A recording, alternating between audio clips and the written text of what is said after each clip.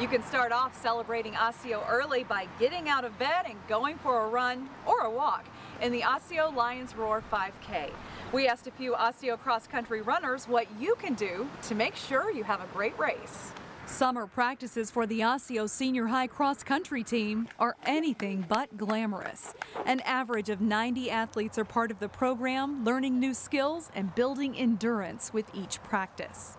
The Osseo Lions Roar 5K is a fundraiser for this program, and lucky for you, these runners won't be in the race. Instead, they'll be helping organize it. You'll see 60 to 90 or 60 to 80 kids out there cheering, cheering the runners on. When it comes to running a great 5K, Coach Rundquist says it's important to know your course. It's an official 5K course, nice and flat, starts on the track of Osseo Senior, finishes over at uh, downtown Osseo. But what else should runners know to run a great race? We decided we would ask a few experts. Just make sure you don't drink a lot of dairy the day of the race and you try to get a good meal in the night before. I think that that always helped me. Instead of having really heavy food in my stomach, it's better to have light food. I'm a very superstitious person, so I have a lot of the same things. Like I always have eggs for breakfast.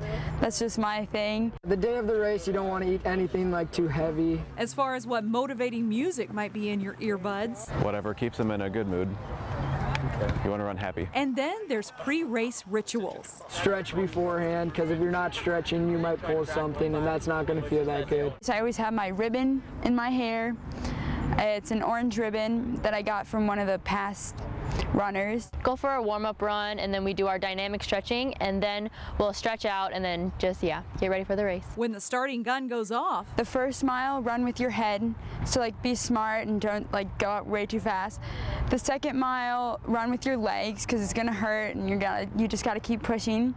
And then the third mile, run with your heart. How bad do you want it? And finally, perhaps the best piece of running advice? Just don't be last and try to beat the biker if you can. You can do it. Sign up for the Osseo Lions Roar 5K on Saturday, September 7th. It starts at 10 a.m. at the Osseo Senior High track. The cost is $25. You can sign up at OsseoLionsRoar5K.com.